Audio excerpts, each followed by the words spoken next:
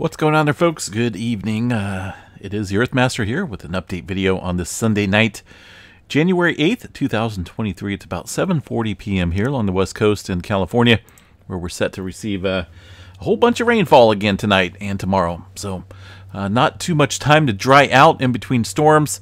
Uh, all of next week here looks pretty wet. And uh, just keeping an eye on the river. And um, had a lot of flooding around here, around the Chico area uh, throughout the night last night, and some power outages. But uh, power is on for now. We'll continue to watch it.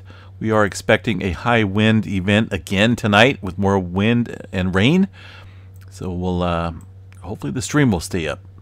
All right, latest earthquake shows a 2.0 into the region of the uh, big island of Hawaii, it looks like. All right, let's go ahead and glance at the USGS map here, where there's a little activity kicking up here along the west coast right now.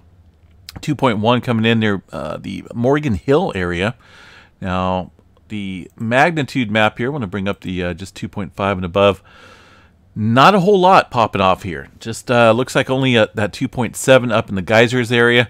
The majority of the activity throughout the west coast, all microquakes, and no major swarms to take note of, which is uh, rather odd. I find it really, really odd with all this rainfall that we're not really seeing any type of earthquake activity. But then again, it does take a little while to get down there into those fault systems. And uh, Pacific Northwest, quiet. Nothing going on up here at all. Um, it is the weekend. They tend to only point uh, report 2.5 and above, uh, and that's the USGS. So uh, I do want to check out the tremor map tonight and see what's going on. Uh, 300 epicenters of tremor into the Vancouver Island ranges there. Uh, it's been like that. Uh, well, this is about the higher number we've seen in the past few days, but the location of the tremor has been confined to the northern end here of the Cascadia subduction zone. All right, uh, rest of the states here, fairly quiet. One odd earthquake southeast of San Antonio near the Falls City, Texas area. 3.4 coming in here into, what do you see here, guys? What do you what do you see out here? Oil fields galore. And that's that's just what's written on the map. A real quick glance here of the satellite imagery. Oh, yeah. Talking about a lot of them. Uh, in fact, it looks like there's one right next to this uh, epicenter, potentially. Hard to tell sometimes, but uh, for the most part, they're going to look like these little uh, white roads that come out to uh, uh, some tanks and some oil pumping operations and wastewater disposal wells. And there's lots of them. There's hundreds and thousands of them out there in the uh, beautiful state of Texas, where that earthquake struck today. Eastern portion of the country, quiet. Uh, throughout the South America region, we've got a couple earthquakes coming in. Uh, in the afternoon time period, magic number is four. Some low grade fours kicking off. Also, an earthquake here into the East Pacific Rise. Uh, that one coming in yesterday, it looks like. Um, let's see what we got for the Big Island. Any new activity kicking off here? Kilauea Volcano still showing some activity. And um, the Pahala area, of course, very typical down here in this region that sees some swarm on uh, swarms pretty much on any given day. Alaska, about the same as well. Um, no further westward movement here across the Pacific Plate. Uh, one earthquake in the North Korea region. Uh, looks like that was a 3.6, a little older one, it looks like from this morning. But uh, notice no white rings up here on the western Pacific, indicating, well, no newer earthquake activity. Majority of the earthquake activity, as expected, following the 7.0 earlier this morning, is westward here across the Java Trench and the Indonesia area. Papua New Guinea as well. These are all threes and fours, but we do got to watch for some potential larger scale movement with that shift in pressure uh, over here from that 7.0 in the Vanuatu area this morning. Uh, far as any newer movement goes into the area, most of this has been uh, aftershock activity following that 7.0. Uh, we have seen, looks like there was a 4.6, uh, about 500 kilometers deep after the 7 pointer, um, and also another 4.4 in this region. So westward pressure movement, definitely seen some adjustment, not only west, but east here. Uh, when we do get uh, some major scale, large scale activity like that, uh, there's many different scenarios and regions that it affects as far as the pressure movement goes. And uh, deeper activity continuing here with only minimal, uh, I haven't really seen any surface rupture up here along the Tonga Trench or, or the uh, Kermadec Trench uh, up into these locked areas. Down here into the South Island, New Zealand area, one earthquake from last night. That's at 4.5. Um, over here into the Albania area, 4.1 coming in. All right, uh, space weather activity is kind of a big deal right now. We're watching a regional sunspot named 3182. Uh, it does harbor some potential for some strong flares, including X flare probability. Looks like a 30% chance for an X flare potential um, from a couple of these sunspots. The main one, of course, is going to be 3182. 99% uh, chance for a C flare, M flare around 70. Proton event due to the location and vicinity of the of these Earth-facing uh, sunspots here. That could provide a little proton event, depending we get uh, some flaring going on. Let me check out the most recent uh, imagery here. Yeah, this sunspot here is definitely grown as well, but 3182 I think harbors the most complex magnetic structure that there is, and that does, you know, put up the threat for an X flare probability. Uh, 3182 does harbor a beta gamma delta class, which harbors some of the strongest flares there. So overall threat looks like 20% chance specifically from that uh, sunspot. Uh, no major um, solar weather events expected far as the, the aurora forecast goes. Looks minimal. But should we get a massive uh, X flare with a subsequent CME Earth directed, that would change uh, fairly drastically. But conditions are calm now. Uh, but looking at the solar flare chart, does show um, we're crackling here with some C flares, even some M flares here, here over the last uh, 24 hours or so. Most recent one in M 1.0, it looks like um, earlier today. So we'll continue to monitor that and definitely keep an eye on it. All right, so weather activity, folks. We have a, a lot of rainfall coming in here to the west coast once again. Uh, I do want to go over just a little couple map, a few maps here. Our next storm is knocking on the door uh, here in California, and um, not really giving us much time to dry out in between these systems. So uh, this time, though, Southern California is going to get a pretty good brunt of moisture. Uh, look at these impressive rainfall rates along the coast, right on the San Andreas Fault, uh, and areas looks like around Mammoth Lakes area. These guys are going to get hammered with some snow, many many feet of snow up there uh, into that area of Cam of I was going to say Klamath Falls, but California. And that kind of moves on, and then we got another system coming in right behind it. Uh, but for us here in Northern California, we got some more wind, we got some more rain coming in. Um, so we'll continue to, you know, roll with these storm punches, which is fine with me because they come in one right after another. I was out checking out some flooding today and uh, seen quite a bit of it here locally. The rivers out here. Um, let me see. Where's the uh, river map? Here's the uh, the forecasted map here from the California Nevada River Forecast Center. Now, there's some areas around the Sacramento River, and that's going to be our main river here in Northern California. Runs north to south, uh, and then of course goes out through the um, the Delta, which is further down here, and um, eventually goes out to the ocean. I know it's a waste of water, but there's I, I don't know the whole story behind it, but uh, it's a waste, I think. Anyway, um, there's some areas here around the Hamilton City area, Chico area in Northern California that is expected to reach into the uh, flood stage here. It looks like potentially on Tuesday around 3 or 4 a.m., uh, 142 feet.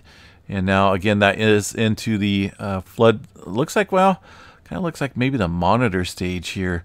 This did get dropped down slightly. Uh, let me see, flood stage. Let's see here. It doesn't look like yeah, looks like we're into the monitor stage. Very close to flood stage, though. Uh, I know when we checked this yesterday or the day before, uh, this definitely had us well into the flood stage area. So this is all subject to change. This is just a forecast. Uh, but I was over there checking out the river today uh, in a couple different regions, and they're very high, very, very high. and with all the rainfall we're expecting tonight uh, and uh, tomorrow, then those could definitely change. Little experimental river forecast uh, deal. Uh, Lake Oroville currently is at 735 feet. It has gone up since about oh, let's see, since about December December second or so. We were at about 660 feet. So um, literally almost almost 100 feet uh, that this lake has risen, Lake Oroville. And it was really low. Um, 2022 is listed up here as well. Hopefully, we go above that level. Um, and I'd love to see some of these uh, recreational lakes full again. It would be awesome. Um, it looks like it is 165 feet below the pool, uh, the full pool of 900 feet. So we got a ways to go uh, before we start having any, any concerns of that specific lake there. This is the current drought map, supposedly. Um, this is probably, when was this updated? January 3rd. Well, I'll tell you what, in the past five days, we received a lot of rainfall, so that's going to make a, uh, a fairly good positive impression in removing a lot of this drought here throughout California. And of course, got more rainfall tonight and over the next week. So I wouldn't doubt it if we see possibly, possibly, uh, this entire picture change to uh, no drought uh, but we'll continue to watch that and uh, see how this plays out. Uh, let's see what else is there. Um, let's go over here to the windy map here real quick and see what we got uh, for some potential rainfall. There's our next system sitting offshore. It's a little disorganized, but it's starting to form. And uh, we got some pretty good wind gusts out there with it as well out into the ocean. Um, looks like, well, I'm sure there's probably a little bit higher gusts out there. About 72 mile per hour wind gusts with this uh, center of low pressure system and a couple different areas here that are trying to develop. But either way, that's coming in tonight. Uh, about 1 o'clock in the morning, it starts to really hit California. And it looks like here into the 5 o'clock time frame is when the brunt of the wind's going to kick in. Now, us here around Chico, we're in a little bit of a lower level of wind, which is fine by me because I don't want the power going off. Uh, it went off several times last night. Uh, it looks like potentially maybe 27 mile per hour, 33 mile per hour gusts, which is a little bit less than what's going on around Sacramento area and of course areas around the Bay region where they're seeing 50 to 60 mile per hour wind gusts. So that's fine with me. Uh, but we are going to get some expected rain uh, accumulation here over the next three days. It looks like into the uh, Bay Area, probably more than two inches. Let me see what we got here around the Chico area potentially. Uh, upwards of about two inches here. The next five days still add some more onto that level.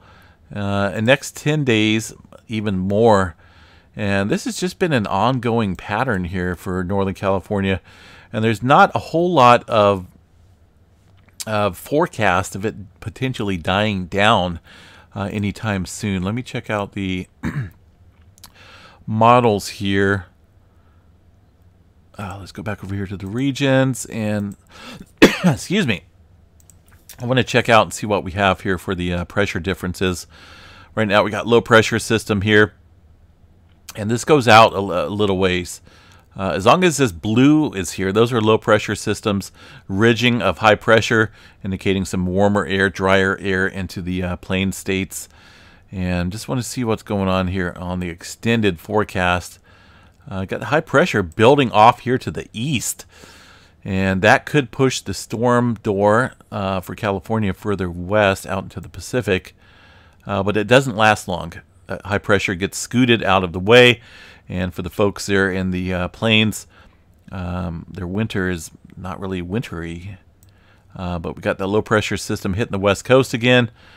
And this is about the January 19th time frame where we get a high pressure. And I don't like these because this is where we get the drier weather. I know I, I don't want the rain to stop. I, I'm enjoying it. But these high pressure systems that form off the west coast here uh, puts us back into that ridge pattern, which is dry. It brings down the colder air from Canada uh, into the States, and that's where winter begins. Um, so that's around the, looks like that takes place around the 20th time frame. West Coast dries out a little bit, winter returns to the um, Midwest area, Plain States, and the uh, majority of the eastern portion of the country, and that's about the 24th. So we'll see how this plays out. Either way, I know we got quite a few storms here to deal with up until that time frame here in Northern California. And, uh, you know, maybe we could use a little break.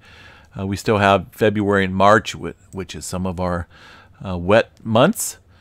So we'll, uh, you know, dry out for a little while, but I hope that I don't want that to be it far as the rainfall goes. And we definitely need more. Um, we're off to a good start so far for this season. Alrighty, guys. I think that is about it for now. Um, again, stay safe out there. And the X flare, uh, I'm, I'm just really surprised we haven't seen any X flare uh, kicking off recently. Earth directed uh, from this sunspot. Let me, let me look at it again, see what we got. I think it's coming. Maybe it's just waiting for it to be directly lined up uh, towards the Earth, and then uh, it's going to light off in uh, an X flare. Good probability, 3182 would be the uh, culprit. All right, folks. We'll uh, catch you guys sometime tomorrow. Again, if the stream goes down, it uh, will probably stay down until I can be um, 100% certain that the wind event will die down. Again, 35 miles per hour, that's probably not going to bring any uh, power lines down, but you never know. Everything's soaked and soggy out here. Uh, so trees falling over and all sorts of fun stuff. Power lines arcing last night. so I did key up here. The stream may go down. High winds here um, expected. Just FYI. Let's see if we left anything out here. I know we got a lot of activity over here around the Mediterranean region. Seen a 4.1, quite a few threes in there as well. There's a big, huge seismic gap in between what's going on over here around the Java Trench and this area. Uh, but then again, um, last week we've seen quite a bit of activity here through northern India, Himalayas, all throughout eastern Afghanistan. Um, so definitely looks like that westward pressure movement uh, is trying to make its way uh, into this area. New Zealand quiet though, very quiet down there. All right, guys, have a good day. Stay safe out there, and we'll catch you guys back here sometime tomorrow. Peace out.